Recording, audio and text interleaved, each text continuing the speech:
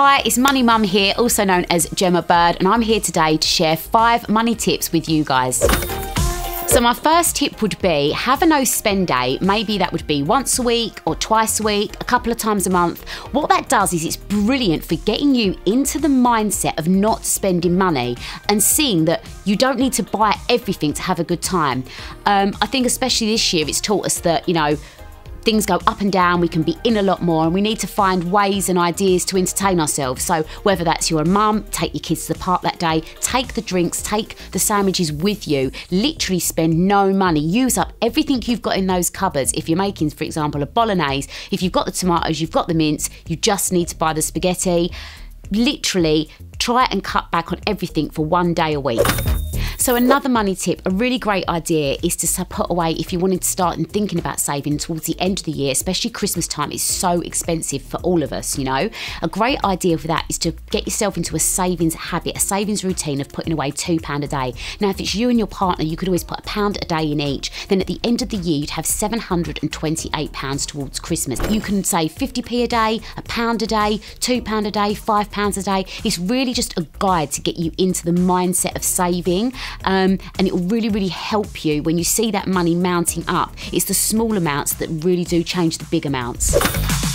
Another tip I've got whether you're a massive family, whether you live on your own, old or young, we all need to eat, right? Okay. So, a really good tip is when you go into your local supermarkets, have a look at what they're charging per gram or per sheet of toilet roll, for example. It may look like an amazing deal, but don't necessarily just walk to the ends of the aisle, see that, and think, oh, I'll grab that.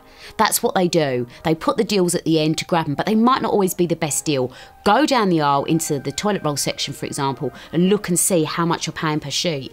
When you're buying things like your fruit, your veg, your tomatoes, your cucumbers, everything like that, buy as much as you can of it loose. It works out a lot cheaper. Things like a pack of bananas, I had five bananas in a pack um, and I weighed them, and it was something like 23p I saved in the difference buying it in a packaging and out of the packaging. You're also saving plastic and helping the environment. You might think, well, it's only 23p, Gem, what's, what's that matter? Imagine that over every item, over every day, over every week, over every month, over the year. That is going to be a massive, massive saving. That saving could go towards your Christmas for that year, that £2 a day I spoke about earlier.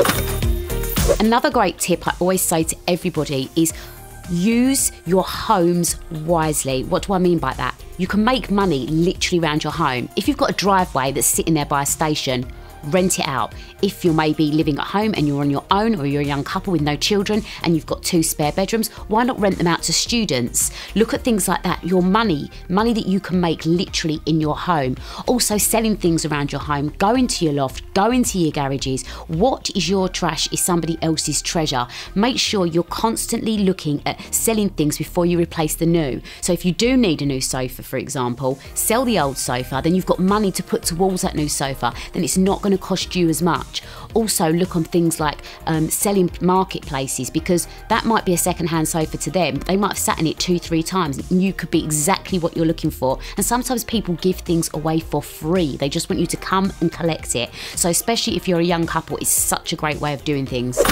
So, another tip that I think is such an important one is to write down everything that you have to pay out for each month. I'm not talking about maybe jeans and a jumper that you fancy. Everything you must pay out for. So if you know you are going to use a full tank of petrol that month, that needs to go on your, it can be a pen and paper, it can be a spreadsheet, it can be anything that you use that you think's easy. Because until you see what you've got coming in and what you've got going out, you can't really work it out. And then at least you'll know, even if you write it all down and it's really, really scary and you look and you think, actually, I don't have I don't have anything left at the end of this, then at least you know and you can put a plan in place possibly to speak to somebody, get advice, get help. So always write things down, always see what's coming in and what's going out. Also, another great tip on that is if you're writing everything down that you're spending, it might be that you know you've not looked at your mortgage rate for a while. Maybe you could save money there. Maybe you could cut back on uh, certain TV channels that you use. Maybe you are overspending. Maybe you can walk a bit more rather than using all the petrol. When you see it in black and white, it becomes a lot, lot clearer and a lot simpler to work out.